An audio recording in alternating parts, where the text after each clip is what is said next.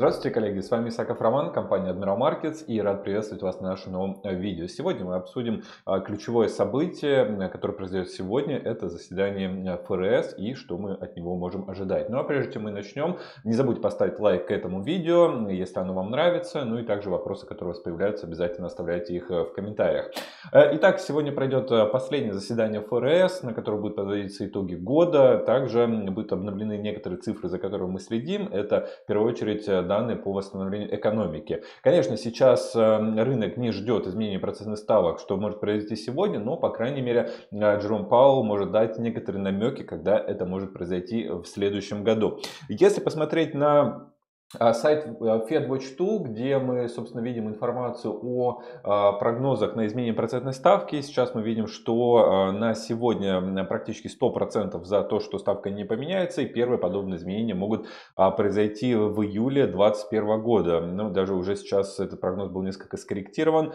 И только в сентябре да, ожидается повышение ставки уже на 5,8. Да, до этого в начале недели, когда мы с вами встречались э, как раз на первом видео, были 2% на изменение в июле, сейчас уже этот был а, показатель пересмотрен, собственно, ожидается, что с сентября может начаться, а, по крайней мере, вероятность э, чуть меньше 6% на то, что ставки будут повышаться. Поэтому вряд ли мы можем ожидать а, что-то сегодня, но что важно, да, важно то, что Вакцины стали э, доставлять по США, да, то есть вакцина от Pfizer уже э, пошла в распространение в понедельник, как мы говорили, первым вакцинацию пройдут э, медработники. И с другой стороны, мы видим новый пик роста заражения коронавирусом. То есть, ну, можно сказать, что это происходит вовремя, да, но, тем не менее, определенный э, негатив э, это вселяет. Соответственно, э, в связи с этим, да, то есть будет рассматриваться также и пакет новых стимулирующих мер, да, этого ждет рынок, то есть QE,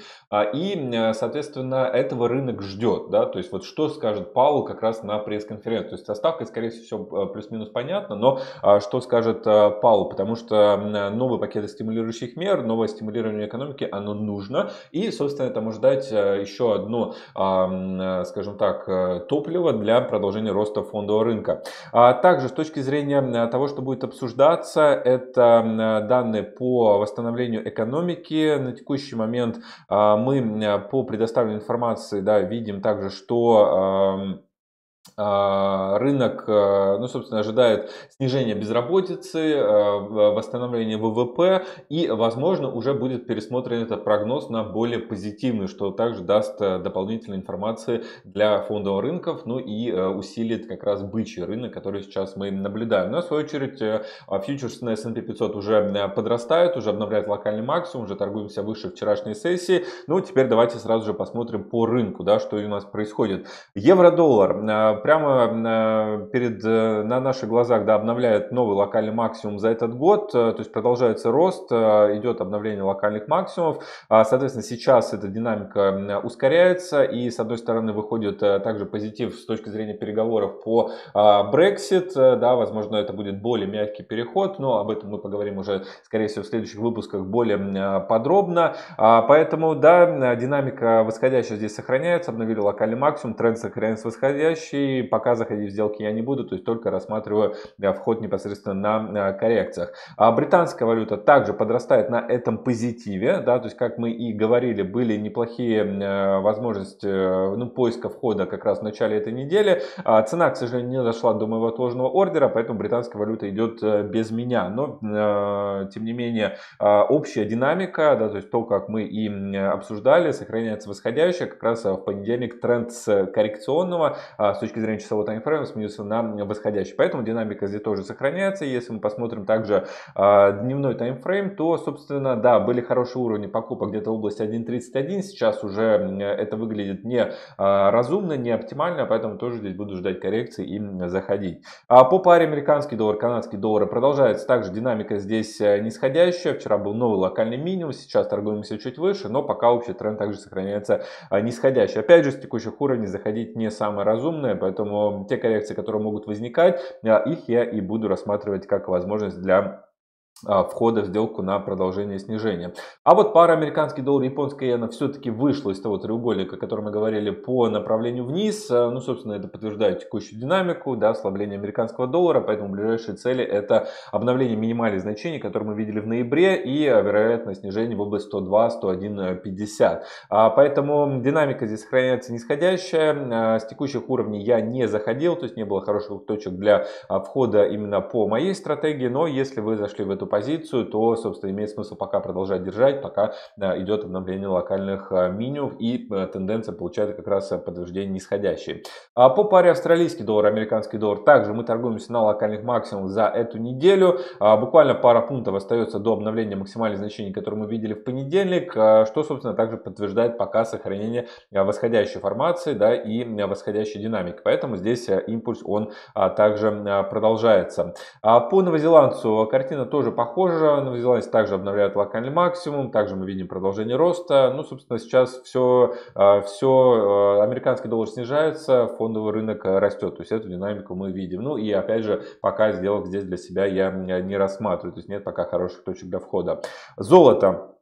А золото продолжает э, свое э, восходящее движение, то есть восходящая формация по золоту а, продолжается. Вполне вероятно, что может дойти до области 1900, и вот оттуда я бы уже поискал тоже э, возможности продаж, так как у нас пока с точки зрения позитива на фондовом рынке золото, конечно, а, может от этого пострадать. Поэтому динамика пока у нас сохраняется нисходящая, и я ее буду рассматривать таковой, пока мы не уйдем выше отметки 1973, ну или уже другие уровни, которые будут сформированы чуть дальше.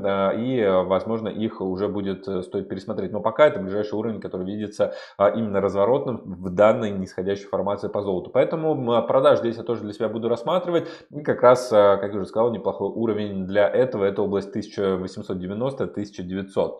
Но не по текущим ценам, да, э, опять же. Индекс DAX а, также продолжает рост. Вот сегодня мы уже обновляем локальный максимум. То есть мы обновляем максимум, начиная с марта этого года. И еще остается совсем чуть-чуть до исторических максимумов, то есть, собственно, до тех максимумов, которые мы видели э, в феврале. Вполне вероятно, что DAX до конца года все-таки этот локальный максимум перепишет. Тем более, что а, фондовый рынок э, идет пока на позитиве.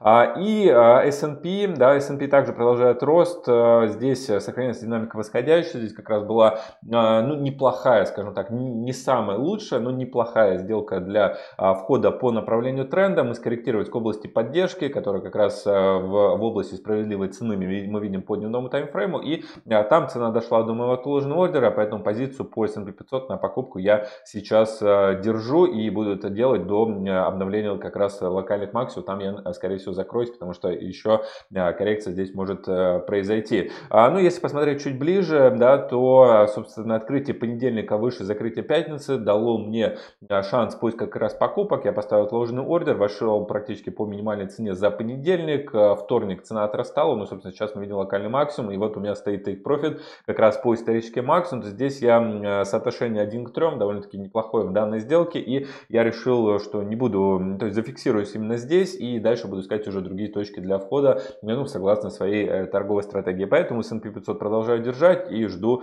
э, соответственно, реализации э, take profit в данном случае. Стоп-лосс я уже перенес в безубыток с минимумов, которые были 11 декабря, поэтому а здесь э, максимально комфортно сейчас чувствую э, в этой позиции, да, продолжаю держать. И следующие коррекции, которые будут, э, будут точно также рассматривать как возможность входа на продолжение роста. А нефть марки Brent уже не так активно, как в ноябре, но все еще продолжает свое восходящее движение. А если посмотреть чуть ближе, часовой таймфрейм, да, с открытия как раз понедельника, пока мы не обновили максимум, который у нас был 10 декабря, но пока планомерно к нему мы поступаем. Безусловно, нефть также подрастает нарастает из-за позитива с точки зрения распространения а, вакцины. Поэтому, а, если резюмировать текущую ситуацию, то есть да, мы с одной стороны видим, что рынок перекуплен, все дорого, но э, вполне вероятно, что уже сейчас рынок начнет отыгрывать будущий позитив, да, общей вакцинации, общего все-таки открытия экономик,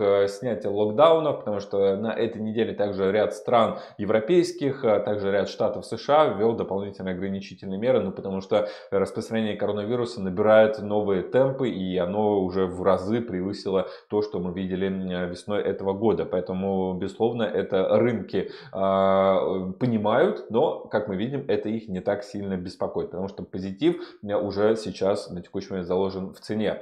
Ну и, э, кстати, если бы вы хотели послушать информацию о, о результатах IPO Airbnb, о, собственно, последних также новостях более подробно, послушайте подкаст «Два трейдера», который был вчера опубликован на сайте Admiral Market, ссылочку обязательно оставлю в описании. Ну и не забудьте поставить лайк этому видео, вопросы оставляйте обязательно в комментариях. А мы с вами увидимся в пятницу, посмотрим, как пройдет это заседание, ну и как у нас будет закрываться текущая торговая неделя. Всем желаю хорошего дня, всем спасибо и также напомню, что а, сегодня пройдет вебинар с Александром Элдером, ссылочка на регистрацию будет в описании к этому видео, поэтому также вас на него приглашаю. Ну а на сегодня это все, всем спасибо и до свидания.